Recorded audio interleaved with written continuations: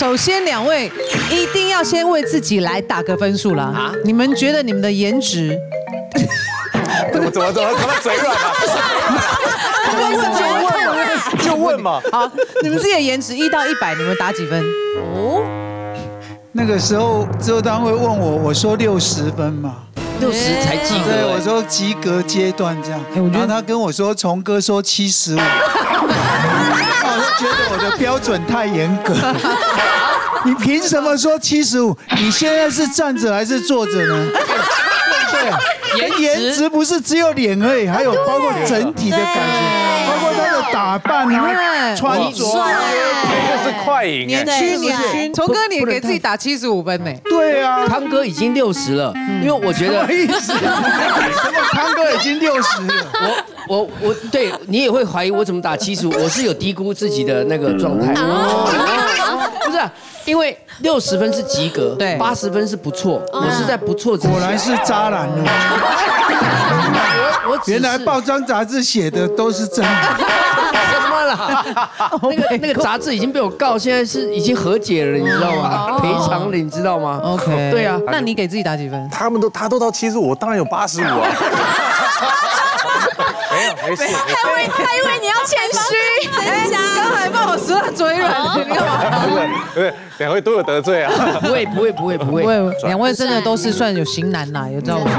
但但今天就来问一下这个听妈团了，你们觉得到底男生安不安分跟颜值有没有关系？当然没关系，没关系，没关系，会扎就是扎，会痒就是会痒，对。而且很多男生靠的是才能，不是颜值，真的。对啊。你所以你到底希望人家说你有才能还是有颜值？说我能干就好了啦。那要试试看呢。好了。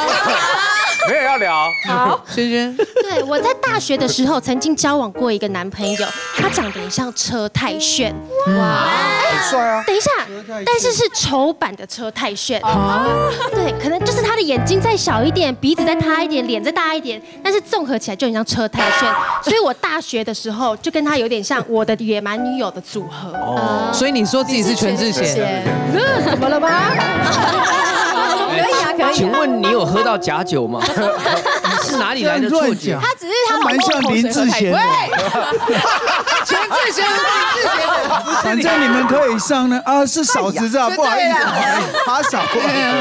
所以我就把那个车太炫带回家之后，妈妈就觉得，哎，你们好像有一点没有那么登对。但是经过相处过后，就觉得，哎，他人很好。嗯，对。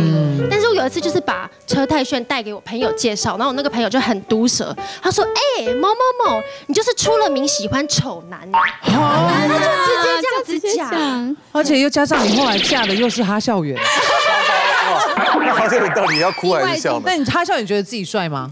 他觉得他有九十分这么帅，哎呦，对他觉得自己很帅。他收支概念不是太好。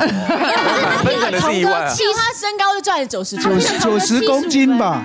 可是讲低估了，超过超过。可是讲真的，我们冷静思考一下，如果他笑很瘦下来，应该马西北拜他身高很高，他以前瘦的时候就很了不起了。对，但是他说他现在有九十分哦。哦，那这些我们就不讨论了。那你觉得嘞？你认为他几分？因为我本来就不是喜欢一些主流的帅哥，我就是欣赏他这一种 主流，比较不是主流，非主流，非主流。对，就是想说嫁给这种丑怪类的可能会比较喜欢。你今天可以回家，你今天确定可以回家？我今天把他带去刷刷锅店，这样不好吧？OK，所以但是只要在他他在你心中是帅哥就好了。对呀，对呀，对对眼就好。对呀。